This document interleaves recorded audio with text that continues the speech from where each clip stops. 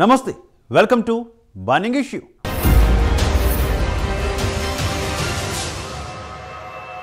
Andhra Pradesh ముఖ్యమంత్రి Jaganmohan Reddy bail రద్దు కానుందా? ఒకవేళ రద్దయితే పార్టీ పగ్గాలు ఎవరు చేపడతారు? ముఖ్యమంత్రి పదవి చేపట్టేదెవరు? జగన్ భార్య భారతీరెడ్డి ఇక పార్టీని నడపనున్నారా?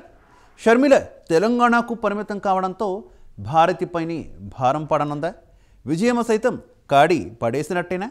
Let's watch this story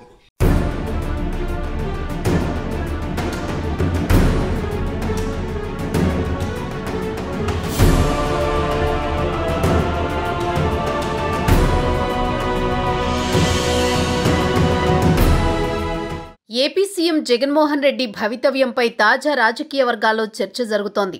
సొంత party MP Raghurama Krishnam Raju Jagan bail రద్దు కోరుతూ సుప్రీంకోర్టులో పిటిషన్ వేయడం అందరికీ తెలిసిందే. దానిపై విచారణ చేపట్టిన సుప్రీంకోర్టు ధర్మాసనం జగన్తో పాటు సంబంధిత ప్రతివాదులకు నోటీసులు పంపడం సంచలనంగా మారింది. జగన్ ప్రస్తుతం అక్రమాస్తుల కేసులో బెయిల్పై ఉన్నారు. బెయిల్పై ఉన్న జగన్మోహన్ రెడ్డి రెండు వేల పంతొమ్మిది ఎన్నికల్లో విజయం సాధించి ఆంధ్ర రాష్ట్రానికి సీఎంగా కొనసాగుతున్నారు. గతంలో సీబీఐ కోర్టు కండిషనల్ బెయిల్ మంజూరు చేసింది. ప్రతి శుక్రవారం నాంపల్లిలోని సీబీఐ కోర్టులో హాజరు కావాలని షరతు విధించింది. ముఖ్యమంత్రిగా పదవి చేపట్టిన తర్వాత ఆ షరతును సడలించారు. కేసు విచారణ సైతం నత్తనడకగా సాగుతోంది.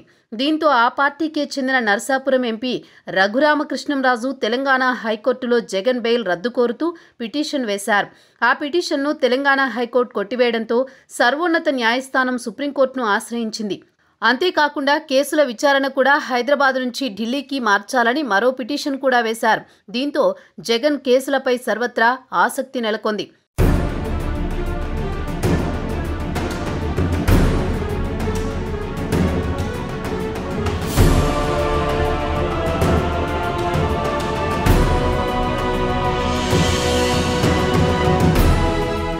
ఆంధ్రప్రదేశ్ ముఖ్యమంత్రి వైఎస్ఆర్ కాంగ్రెస్ పార్టీ అధినేత వైఎస్ జగన్మోహన్ రెడ్డి అక్రమాస్తుల కేసులో ఆరోపణలు ఎదుర్కొంటున్న సంగతి తెలిసిందే. దాదాపు ముప్పైకి పైగా కేసులు ఆయన మీద ఉన్నాయి. విపక్షాలు కూడా ఈ కేసులకు సంబంధించి పదే పదే రాజకీయ ఆరోపణలు చేయడం జరుగుతోంది. ఇవేవి ఉత్త ఆరోపణలు అనుకుంటే పొరపాటే. నిజంగానే జగన్ మీద కేసులు ఉన్నాయి. ఆయా కేసుల్లో ఏ వన్గా నిందితుడిగా ఉన్నారు వైఎస్ జగన్. ప్రస్తుతం జగన్ బెయిల్ మీదున్నారు. విదేశాలకు వెళ్ళాలంటే వైఎస్ జగన్మోహన్ రెడ్డి ఖచ్చితంగా న్యాయస్థానం నుంచి అనుమతి తీసుకోవాల్సిందే. గతంలో ప్రతి శుక్రవారం జగన్ కోర్టులో విచారణకు ప్రత్యక్షంగా హాజరు కావాల్సి వచ్చేది. ముఖ్యమంత్రి అయిన తర్వాత దొరికిన ప్రత్యేక వెసులుబాట్లతో జగన్ కోర్టుకు హాజరు కావడం లేదు. న్యాయ ప్రక్రియలో బెయిల్ పొందడం అనేది సర్వసాధారణం. మెరిట్స్ ఆధారంగా బెయిల్ లభిస్తుంటుంది. అయితే ఇన్నేళ్ళుగా వైఎస్ జగన్ బెయిల్ మీదనే ఉండడం ఆయా కేసుల విచారణ నత్తనడకన సాగుతుండడం పలు అనుమానాలకు తావిస్తోందని తెలుగుదేశం ఎప్పటి నుంచో ఆరోపిస్తోంది. ఇక్కడే రఘురామకృష్ణంరాజుకు సందేహం వచ్చింది సిబిఐ కావాలనే విచారణను ఆలస్యం చేస్తోందని కోర్టులను ఆశ్రయించడం ప్రారంభించారు.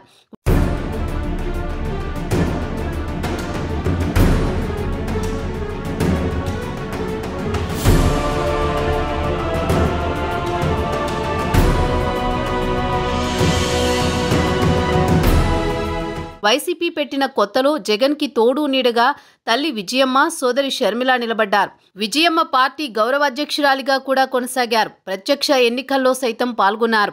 వైఎస్ మరణం తర్వాత పులివెందుల ఉప ఎన్నికల్లో పోటీ చేసి గెలుపొందారు. తదనంతరం రెండు వేల పద్నాలుగులో విశాఖపట్నం ఎంపీగా పోటీ చేసి ఓటమి పాలయ్యారు. రెండు వేల పంతొమ్మిది ఎన్నికల్లో కుమారుడు జగన్కు ఒక్క ఛాన్స్ ఇవ్వాలని ఆంధ్ర ఓటర్లను ప్రార్థించారు. ఎన్నికల ప్రచార సభల్లో కూడా విస్తృతంగా పాల్గొని ప్రచారం చేశారు. పార్టీ అధికారంలోకి వచ్చిన తర్వాత క్రమేణా పార్టీకి దూరం జరిగారు. కొంతకాలానికి పార్టీ గౌరవాధ్యక్షురాలిగా కూడా వైదొలిగారు. షర్మిల పరిస్థితి కూడా అంతే. పార్టీ కోసం పాదయాత్ర సైతం చేశారు. అన్నను సీఎం చేయడానికి ఎంతో శ్రమించారు. రెండు వేల పద్నాలుగులో పార్టీ అధికారంలోకి రాకపోయినప్పటికీ అన్న వెన్నంటే ఉన్నారు. రెండు వేల పంతొమ్మిది ఎన్నికల్లో సుడిగాలి పర్యటనలు జరిపి పార్టీ అధికారంలోకి రావడానికి తోడ్పడ్డారు. తాను కూడా క్రమేణా పార్టీకి దూరం జరిగారు. నన్ను పార్టీ కోసం వాడుకుని వదిలేశాడని అన్నపై కామెంట్ చేశారు.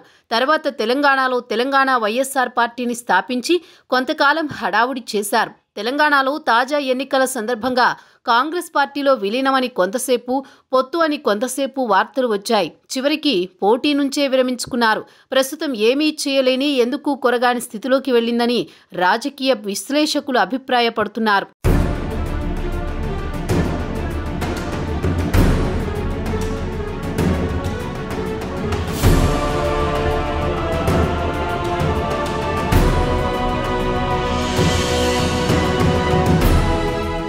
ఇంతకీ వైఎస్ జగన్ బెయిల్ రద్దయితే ఏమవుతుంది అనేదే ఇప్పుడు రాజకీయ వర్గాల్లో చర్చ నడుస్తోంది.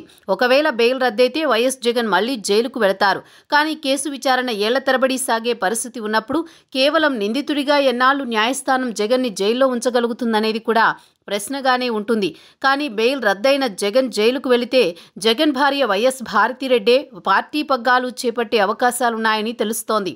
జగన్ తల్లి విజయమ్మ సోదరి షర్మిల పార్టీకి దూరంగా ఉన్నారు. ఈ నేపథ్యంలో ఆ బరువు బాధ్యత భారతిరెడ్డిపైనే పడనుందని రాజకీయ పండితుల అభిప్రాయం. ఇప్పటికే జగన్ వ్యాపార సంస్థలను నిర్వహిస్తూ మంచి పేరు తెచ్చుకున్నారు. గతంలో కూడా జగన్ జైల్లో ఉన్నప్పుడు వ్యాపారంతో పాటు అంతర్గతంగా రాజకీయాలపై దృష్టి సారించారని వార్తలు వచ్చాయి. దీంతో భారతిరెడ్డి పార్టీ కార్యకలాపాలను కూడా సమర్థవంతంగా నడపగలదని రాజకీయ వర్గాల్లో చర్చ నడుస్తోంది. గత ఎన్నికల్లో పార్టీ టికెట్ల పంపిణీ విషయంలో కూడా జోక్యం చేసుకుందనేది సమాచారం.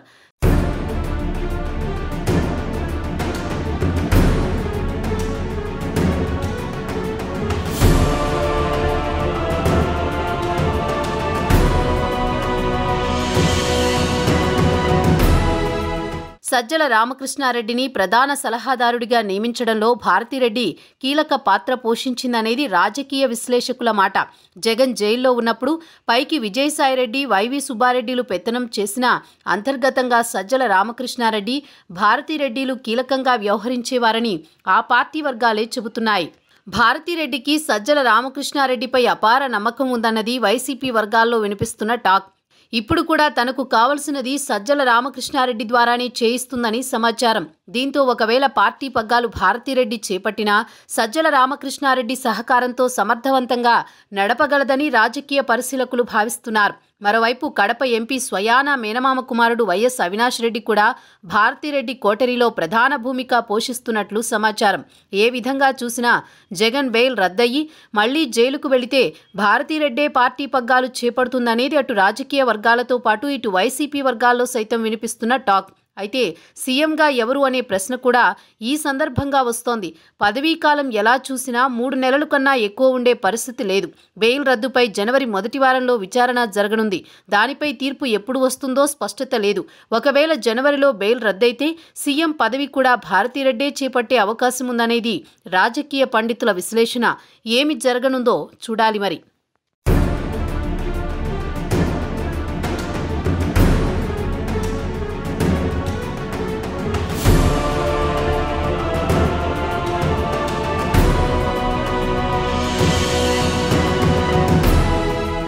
ముఖ్యమంత్రి జగన్ను సొంత పార్టీ ఎంపీయే గత కొన్నేళ్ళుగా ముప్ప తిప్పులు పెడుతున్నారు. జైల్లో తనను చిత్రహింసలు పెట్టిన జగన్పై కక్ష తీరే వరకు వదల బొమ్మాలి అంటూ రఘురామకృష్ణంరాజు వెంటపడుతున్నారు. మరి రఘురామ పిటిషన్ జగన్ రాజకీయ భవిష్యత్తును ఏ దరికి చేరుస్తుందో వేచి చూడాల్సిందే.